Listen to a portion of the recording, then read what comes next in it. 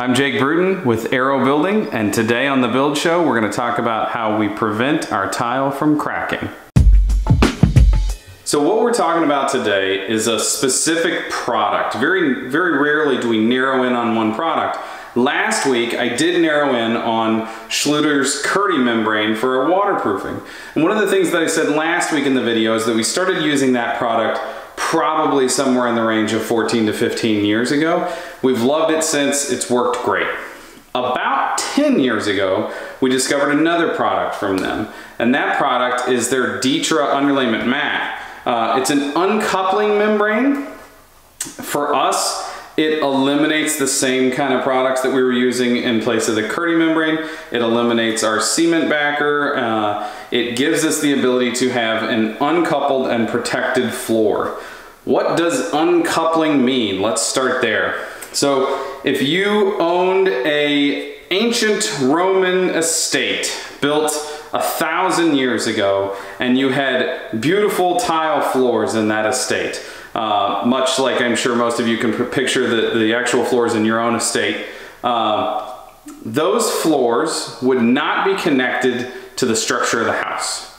Most likely your walls would come down and sit on a foundation and the floors inside were laid on a bed of sand. And that bed of sand wasn't then sitting on concrete, it was ground and then aggregate and then sand and then tile with mortar on it.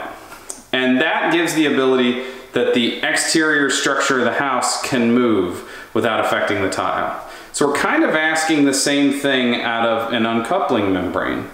Uh, we're, we're uncoupling from the house. We're disconnecting our tile from the house. Now, that makes most people panic and they have this moment of thought where they go, oh, you're gonna make my tile a floating floor install like an engineered floor? Not at all. The thing is that the, the bond is still there. It is still connected. It's just not in the way that you traditionally would have anchored tile. So 10 years ago when we were using this product and we made the swap, it was a bed of mortar and then backer board and then a bed of mortar and tile.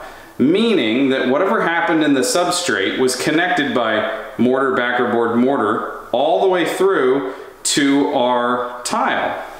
So if I was building a slab on grade home, for example, and I tiled directly on my concrete, even if I used an uncoupling mortar as advertised in the industry that I'm not sure if we can believe or not, uh, the mortar still made a hard, rigid connection between the concrete and the tile. And when that concrete cracked, it made new cracks in my tile. Uh, it's unavoidable. It's something that we completely can't get around. Concrete does crack. It's something that happens. It's the problem with building with concrete. It does crack. If we're building on top of wood, like we are here, we're on the second floor. We have a 7 8 uh, inch Advantech subfloor underneath of us because our trusses are uh, 19 inches on center. The, uh, the uncoupling membrane that in the past wouldn't have even existed for us. It would have been mortar, cement board, mortar, and then tile.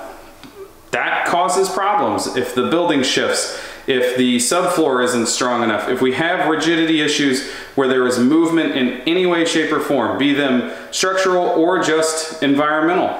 Uh, so we want whatever's underneath our tile to affect our tile as little as possible. And that therein lies the, uh, the, the uncoupling membrane. It is a fleeced back uh, membrane and the two parts you can see I could I can force them apart if I had to. I can tear that.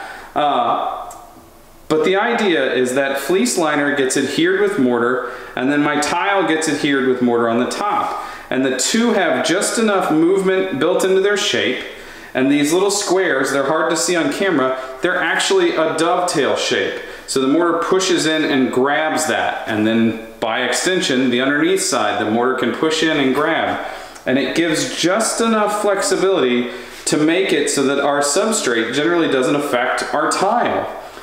The other really cool thing about this that even goes a step further for us is that we're able to install the Ditra and then take some of their Kerdi membrane banding, band all our seams, turn this product in a 90 degree in the corner, and now we've waterproofed our bathroom floor.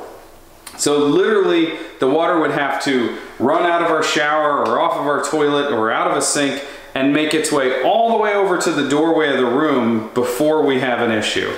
Up until that point, it could just be vacuumed up. It's on top of waterproof tile. We don't have any concerns. That has been a game changer for us because we're pushing our HVAC out of the floor so that we don't have that hole. We can caulk down our toilets so that we don't have that issue.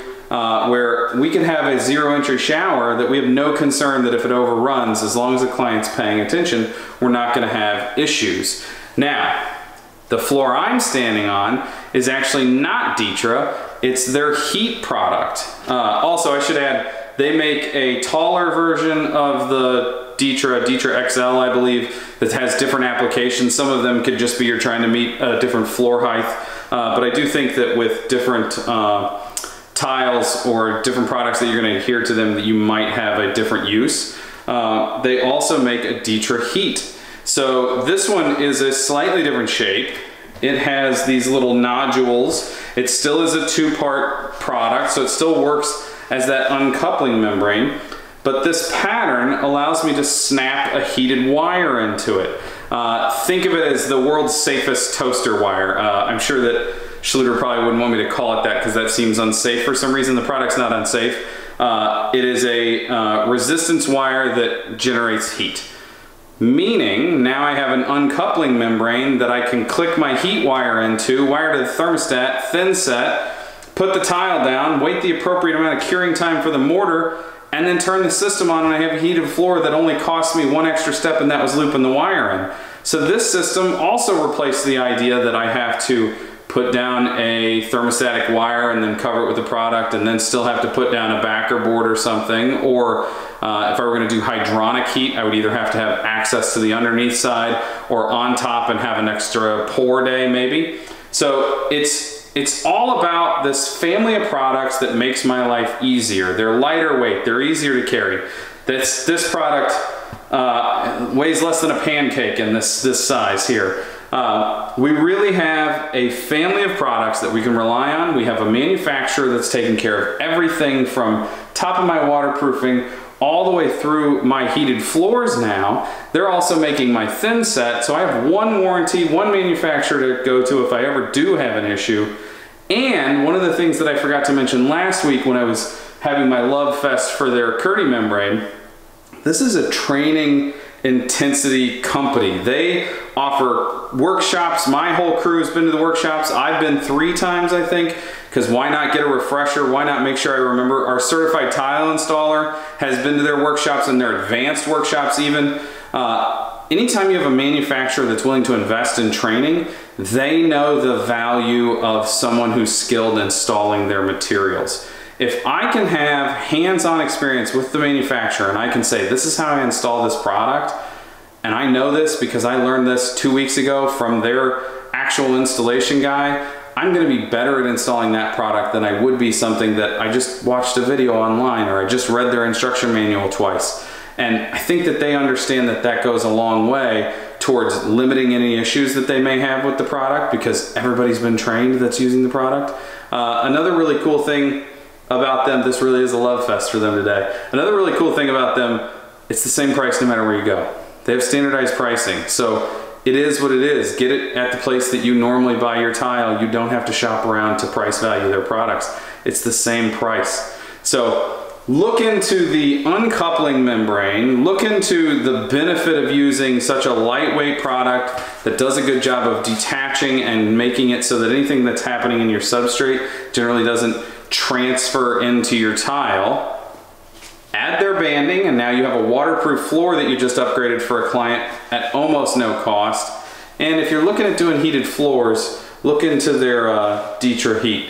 Uh, and the one question that I get from every client when we start talking about the Ditra Heat in the floor, or two, sorry. One is the, is the thermostat programmable? Yes, it is. You don't need that running all day while you're at work. Let it come on a little bit in the morning and a little bit in the evening, right when you're gonna take your evening shower or when you're in here this in the morning, getting ready in the morning. Just warm it up a little bit. Don't try to heat the house with it. And number two, do we put that in the shower? I could put it in the shower floor. I get a warranty with it being in the shower floor, but as soon as I turn that hot water on, that floor is gonna heat up. Don't waste your money putting it in there. Use it somewhere else, put it in the closet. In this instance, we went ahead and ran it all the way into the closet because the tile already goes in there.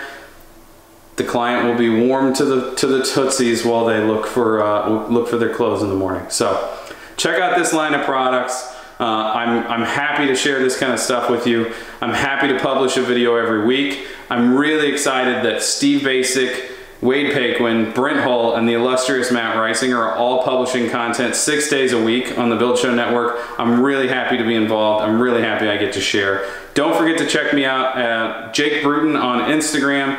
Until next time, thanks for watching the Build Show.